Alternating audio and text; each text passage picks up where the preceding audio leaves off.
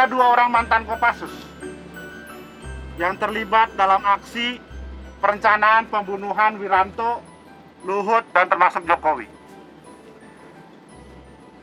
Saya bertemu dengan mereka saat kami pengadilan di negeri pengadilan negeri Jakarta Pusat. Dua orang itu mengakui, dua orang itu bagian dari pasukannya Kiflan Zain. Dua orang itu mengakui bahwa mereka sudah menyiapkan senjata. Sudah menyiapkan bom. Sudah menyiapkan rencana matang untuk melakukan pembunuhan terhadap tokoh-tokoh. Tapi sayangnya rencana itu gagal karena WhatsApp Kiflan Zain diretas. Itu yang saya dapatkan. Tapi apa yang terjadi? Apakah mereka dikenai pasal makar?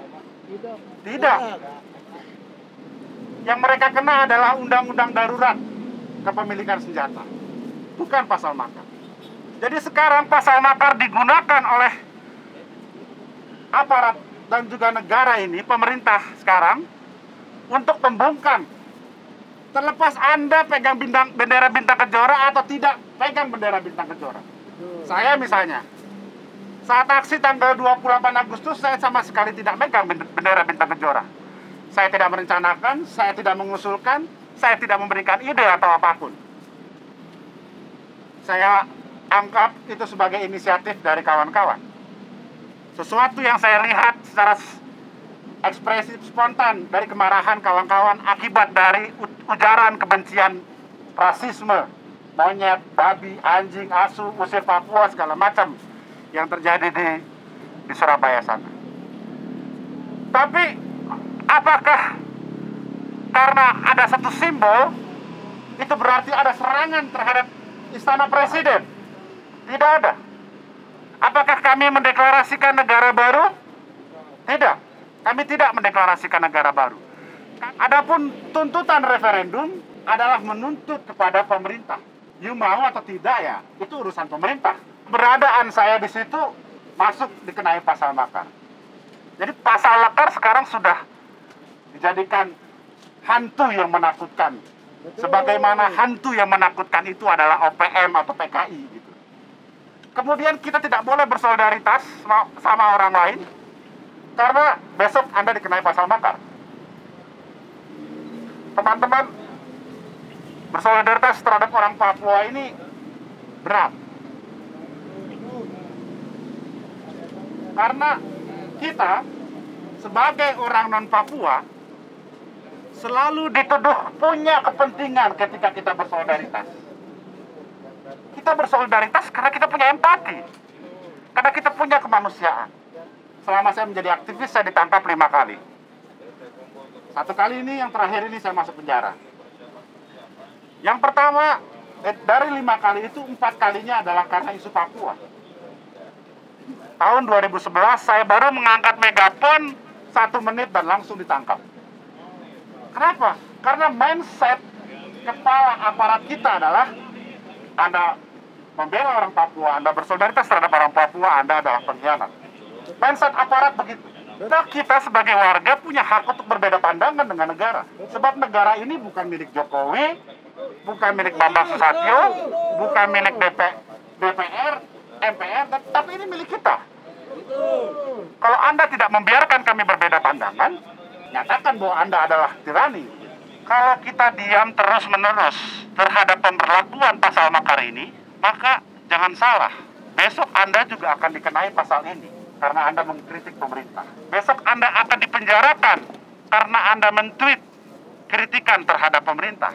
Besok Anda akan dipenjarakan karena Anda berdemonstrasi. Besok Anda akan masuk penjara, Anda pun bisa menjadi barisan tapol. Atau mungkin tidak disebut tapol, tetapi dikriminalisasi, dikenai pasal ini itu segala macam, dan Anda tidak bisa bicara. Jangan berpikir terlalu tinggi tentang perubahan yang lebih baik kalau Anda tidak bisa bicara. Kalau Anda tidak mempertahankan hak Anda untuk berbicara, hak Anda untuk berbeda pandangan, hak Anda untuk mengkritik. Sebab perubahan hanya mungkin apabila kita terus-menerus mempertahankan hak kita dan memperluasnya demi demokrasi yang lebih baik, demi kemanusiaan yang lebih baik. Bebaskan Papua, Papua dan Maluku! Stop pasal makar. Undang-Undang 1945 dan Pancasila itu nilai yang mulia, tapi negara ini yang menguasai telah mengkhianati nilai yang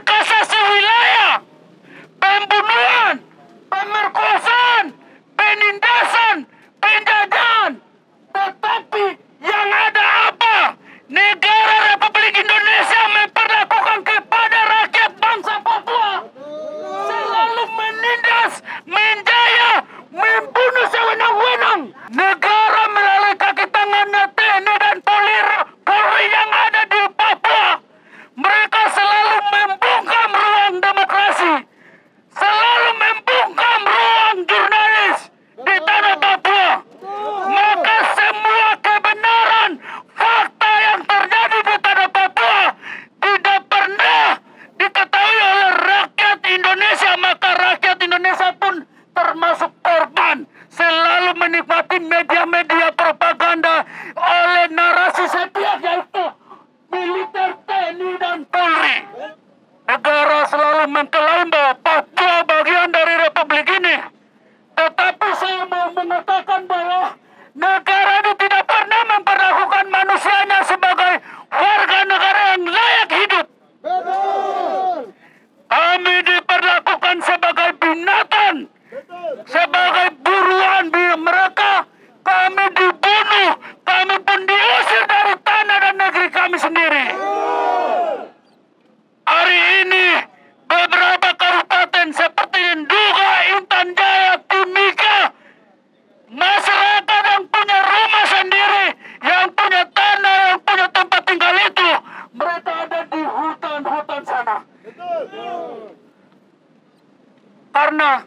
ada operasi militer yang besar-besaran terjadi di Papua yang tidak diketahui oleh rakyat Indonesia.